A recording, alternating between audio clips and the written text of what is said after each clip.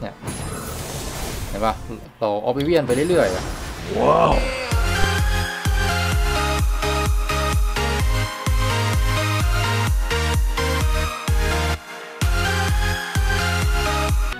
โอเคครับก็อยู่กับผมฮอลลี่เช่นเคยนะครับก็เดี๋ยววันนี้ก็จะพาเพื่อนๆเนี่ย ไปดูอีกหนึ่งเทพเจ้าแห่งหอเฮลนะครับ นอกจากผัวน้ำกับกริฟฟอนฟอยแล้วเนี่ย เรายังมีอีกหนึ่งตัวนะครับที่ผมใช้บ่อยๆนะไป ดูกันนะครับ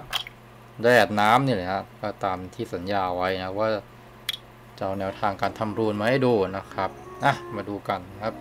เฮอร์เน่นะครับหรือว่าแดดน้ำนะเป็น monster สี่ดาวธาตุน้ำนะครับ สายสนับสนุนนะครับ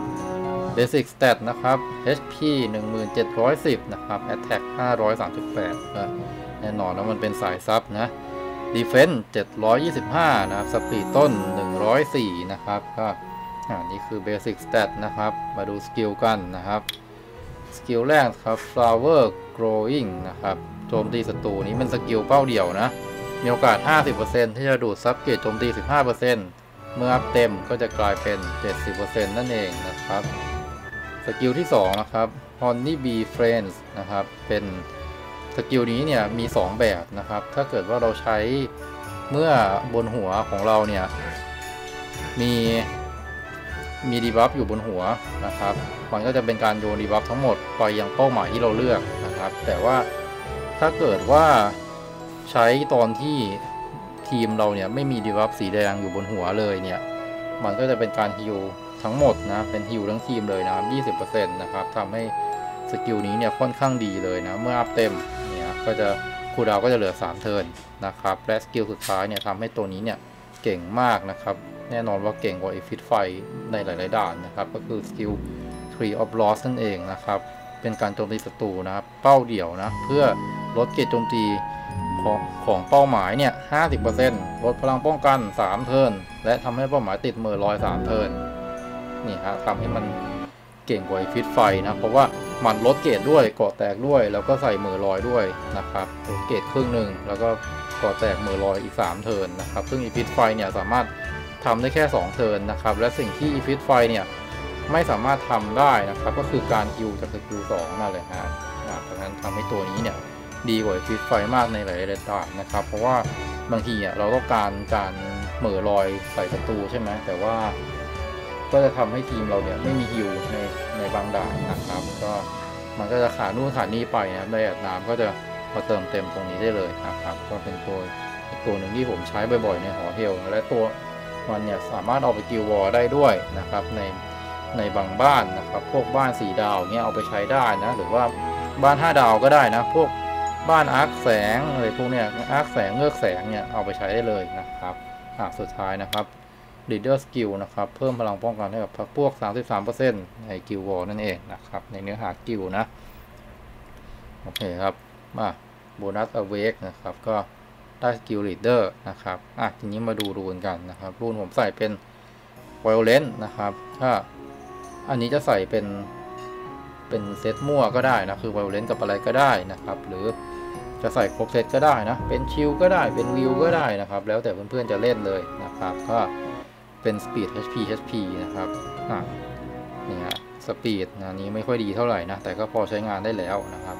นี่ฮะ Speed HP HP นะครับ ก็ ทำสเตตออกมานะก็เป็นถึกเร็วมีแม่นนะครับ จะเห็นว่าเลือดก็เยอะนะครับ เลือด 20,000นะ Defense 500แต่จริงๆ มันไปได้เยอะกว่านี้นะครับ Speed 120 นะครับ แล้วก็ค่าแม่นยำเนี่ย ถ้าทำ85 ได้ก็ดีนะครับอันนี้ผมยังทำไม่ถึงนะยังขี้เกียจแก้รูนนะก็ประมาณนี้ก็คือประมาณนี้มันเพียงพอสำหรับการลงหอเฮลแล้วนะแต่ว่าจริงๆ แม่นก็ควรจะ85นะเพราะว่า ตัวมันเนี่ยต้องการมันเก่งมาจากการทำดีบัฟเป็นหลักนะครับถ้าskill เนี่ยก็ควรจะอัพเต็มทั้ง 3 skill เลยนะก่อนที่จะเอามาใช้นะครับอะสุดท้าย artifact ก็ artifact ตัวนี้ผมใส่เป็นจริงๆ เป็น HP 2 ข้างเลยก็ได้นะ เป็น Defense 1ข้าง เป็น HP 2 ข้างก็ได้นะ แล้วก็ ไอตัวออปออปรองเนี่ย ไม่ค่อยซีเรียสนะ แต่ว่าถ้าทำดีๆ หน่อยก็ skill 2 heal นะครับ กับ skill 3แม่นนะครับ ก็ช่วยได้นะฮะในกรณีที่ แม่นเราไม่ 85 นะครับ โอเคแล้วก็ไอเดียการทำ rune ก็ประมาณนี้นะ แนะนำเป็น violent นะครับ กับอะไรก็ได้ หรือจะใส่เป็นเซตสองเนี่ยใส่เป็นครเซตก็ได้นะครับ อะ ทีนี้ หลักๆ เอาไปใช้ที่ไหน หอ Hell นะครับ ที่แรกเลยที่ผมใช้บ่อยที่สุดนะครับ หอ Hell นะอย่าง ก็จะเอาไปใช้ในชั้นที่ passive มันโหดๆนะครับ อะอย่างเดือนนี้ผมเคลียร์ 30 ดาวไปแล้วนะครับ มีชั้นนี้ที่ผมใช้นะครับชั้นจินมืดนะครับ มันจะมีตัวที่เราจะต้องบล็อก passive ทั้งห้องที่1นนะก็จะมีเงือกแสงอะเดี๋ยวผมเล่นให้ดูก็ได้นะอะอันนี้เป็น spoil ก่อนลงคลิปชั้น 4 เลยนะเนี่ยถ้าเกิดว่า ทีมเดิมที่ผมเคยใช้เป็นทีมนี้อะเพื่อลองนึกภาพตามนะ เราได้การ control ทั้งหมด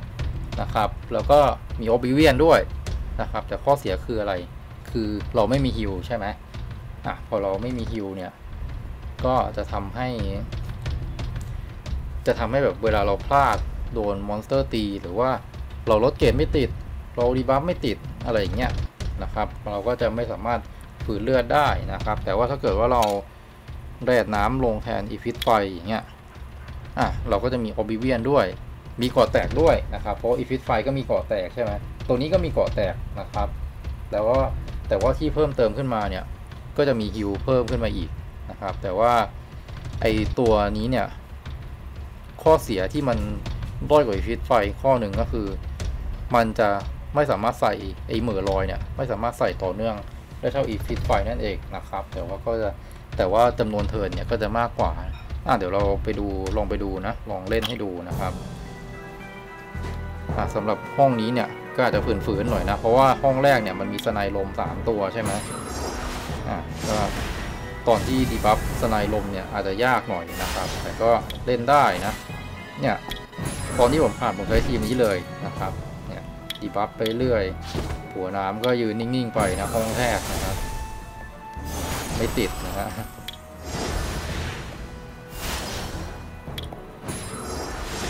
ไล่ re skill Sniper ลมนะไม่ให้มันนั่งนะครับ แล้วก็ตีเงือกแสงก่อนนะครับ ประมาณนี้นะห้องแรกเนี่ยเห็นปะเรา oblivion ไปเรื่อยๆใส่ oblivion ใส่ oblivion ไปเรื่อยๆนะครับ แล้วก็ฆ่าไปเรื่อยๆนะใส่ไปนะให้มันหิวอะประมาณนี้เลยนะครับสำหรับวิธีการใช้ Dryad น้ำนะครับ ใช้ในหอ Hell นะครับ เป็นหลักเลยนะ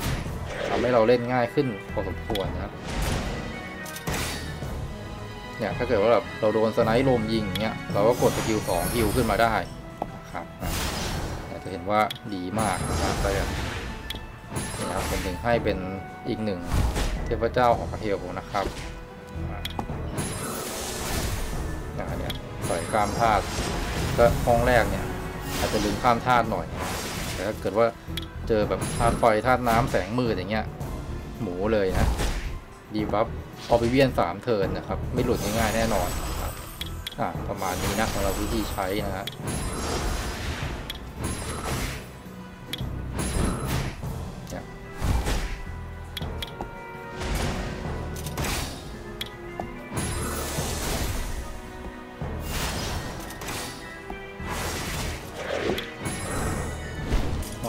คครับก็ประมาณนี้นะสำหรับวิธีการเล่นไดอัดน้ำนะครับ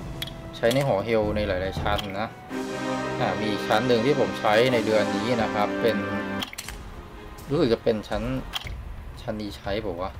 ไม่ได้ใช้อะชั้นนี้ไม่ได้ใช้ ชั้นนี้ก็ไม่ได้ใช้ฮะชั้นห้าแล้วอ่าชั้นห้านะเป็นอีกชั้นหนึ่งที่ผมใช้ได้อัดน้ำนะเพราะว่า มันมี Oni แสงมี Oni น้ำนะครับ แล้วห้องแรกก็มี Paladin น้ำนะครับรู้สึกจะใช้ทีมนี้นะเสือใช้เป็นทีมนี้ในการเล่นนะครับ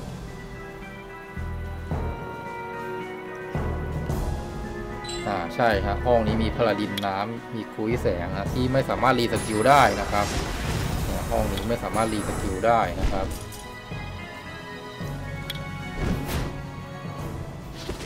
อ้าวติดซะงั้นนะ เคไม่เป็นไรไม่เป็นไร เนี่ยอย่างเงี้ย ถ้าเราโดนอย่างเงี้ยนะครับ ก็จะเราก็เกือบตายแล้วอย่างนี้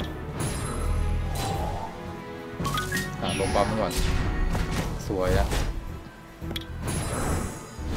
เนี่ยจะเห็นว่าในกรณีที่แบบว่าเราทำอะไรผิดพลาดไปเนี่ยนะเราก็ยังมีไดแอดน้ำเนี่ยในการฮิวคืนขึ้นมาได้นะครับ เดี๋ยวเราลอง skill 2ให้ดูกันนะครับ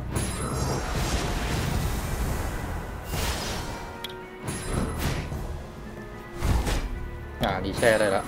มันใช้ passive ไปหมดแล้วเนี่ยก็ยังมี skill สองนะครับในการแก้ตัวนะครับ ในกรณีที่แบบเราพลาดโดน damage อะไรอย่างเงี้ยนะฮะ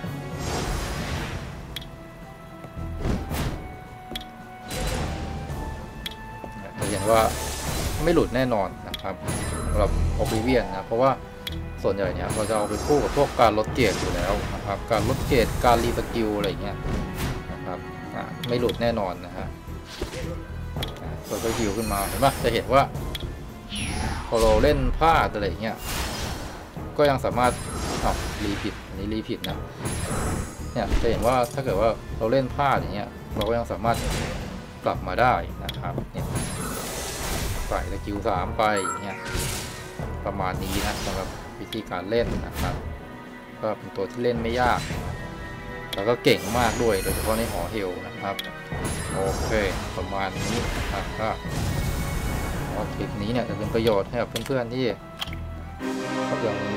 ยังไม่ได้บิวตัวนี้นะครับโอเคนะเดี๋ยวไว้เจอกันในคลิปหน้านะ เดี๋ยวผมก็จะเริ่มลงหอเฮลเดือนธันวาคมแล้วโอเคครับ เดี๋ยวไว้เจอกันคลิปหน้าครับผม สวัสดีครับ